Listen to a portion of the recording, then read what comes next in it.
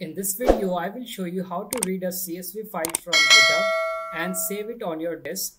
Let's import pandas as PD. Let's go to my GitHub page. This is my GitHub page and we will go to this folder dataset. This folder contains several datasets such as gapminder.csv, iris.csv, titanic.csv. We are going to read this file gapminder.csv. Let's click on this.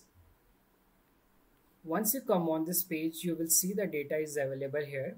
And to read this data, you have to click here on raw.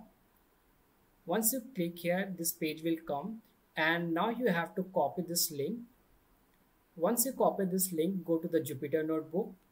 I'll make one variable df and from pandas I will use the method read underscore CSV because this is a CSV file and in single quotes or double quotes we have to pass our link which we have just copied.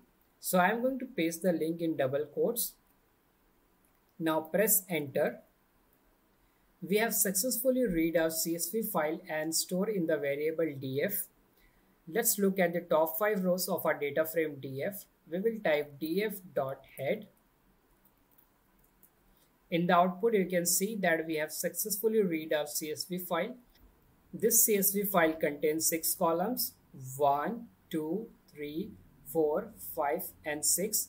Let's look at the bottom 5 rows. We will type df.tail. Using method tail, we can look at the bottom 5 rows. In the output, you can see that these are the bottom 5 rows. Now we are going to save this CSV file in our disk. I'll go to a folder.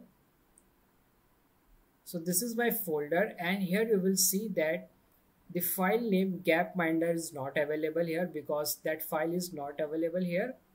Now I am going to this Jupyter notebook. I am going to save this data frame df with the name gapminder.csv and to do that I will type df dot to underscore csv. So this is the method to underscore csv to write a csv file on your disk. And inside this we have to give our name to our csv file in single quotes or double quotes.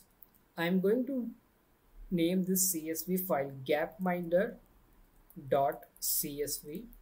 Now let's run this code now let's go to the same folder and check whether this file has been created or not. Now you can see that in the folder gapminder.csv is available here. So we have successfully imported the CSV file on our disk. Let's open this file to verify.